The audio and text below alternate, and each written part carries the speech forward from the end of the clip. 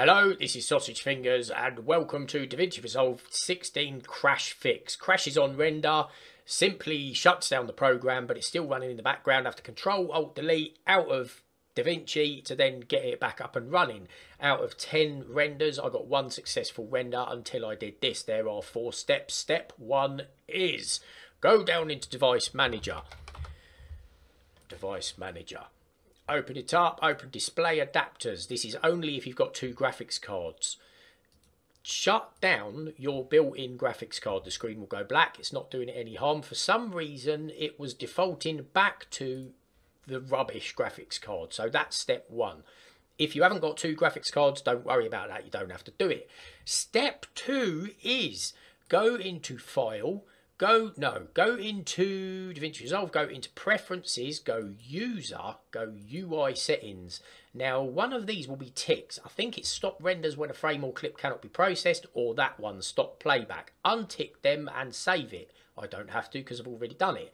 That is basically shutting Resolve down when it can't process a frame Step two, now step three, go into file. After you've changed it to MP4 or whatever you're recording in and all that malarkey, go to file.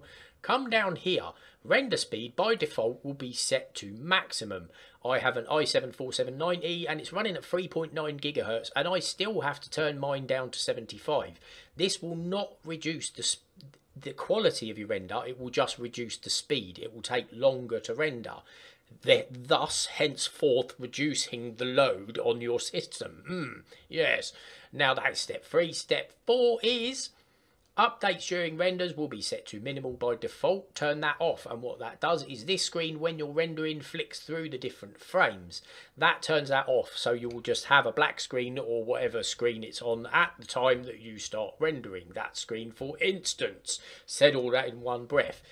Now, as you can see, I've got a 20 minute video here and it took 1 hour and 26. And the reason it did that, it kept crashing at a specific frame that it couldn't process. It hung up for nearly 40 minutes on that frame once I'd applied these changes, but it did not crash. It kind of just hung there for ages. I thought it had crashed. I thought I'll leave it, went and had dinner, come back and it was done. I haven't had a crash since. I've done 20 renders since and I haven't had a crash. I hope this helps.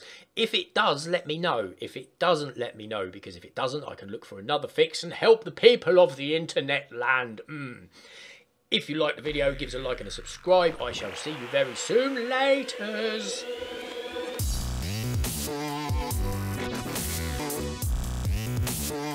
You.